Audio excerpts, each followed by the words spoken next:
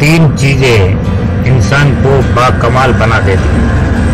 ठंडा दिमाग मीठी जबान नरम दिल। हम्म, ठंडा दिमाग से मतलब आप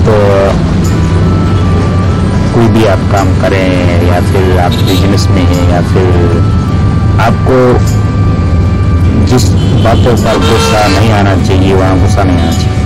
कई लोग ऐसे होते हैं जो जहाँ पे आपको गुस्सा नहीं करना हो वहाँ पे आप गुस्सा करके अपना काम बिगाड़ देते हैं ऐसा नहीं होना चाहिए और आपकी जबान बोलने का आपका अंदाज एक बार मीठा होना चाहिए, सामने वाले के दिल के अंदर आपके अल्फाज उतरने चाहिए। तो आपसे वो लोग कायल हो जाएँगे तो आप बाकमाल आपकी जबान भी बना देते और आपका दिल इतना नरम होना चाहिए कि हर मुश्किल, हर मुसीबत जदा को आप उसकी हेल्प करें, उसके ऊपर तरस है आपको आपका दिल एकदम नरम होना चाहिए, हर बंदे के लिए।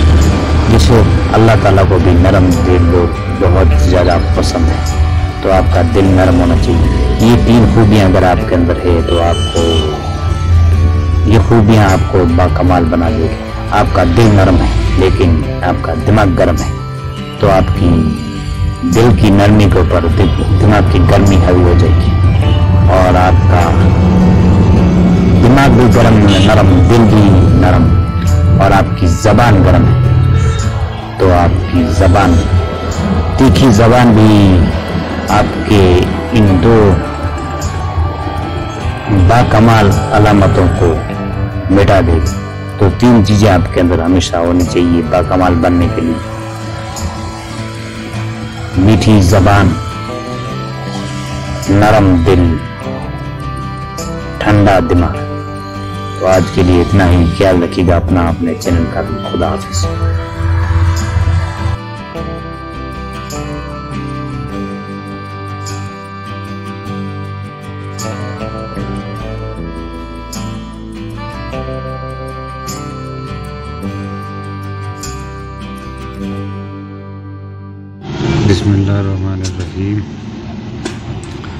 अकल कब्र के आगे नहीं देख सकती। कब्र के आगे इश्क का कदम उठता है।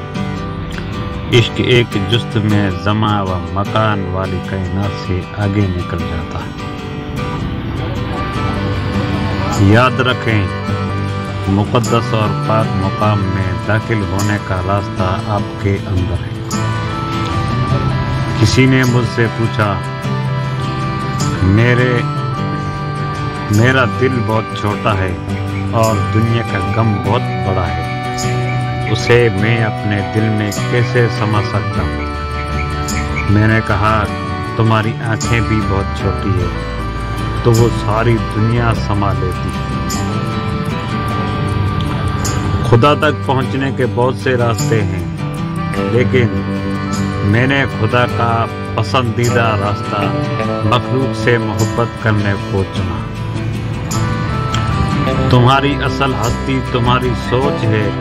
बाकी तो सिर्फ़ हड्डियाँ और खाली गोश्त है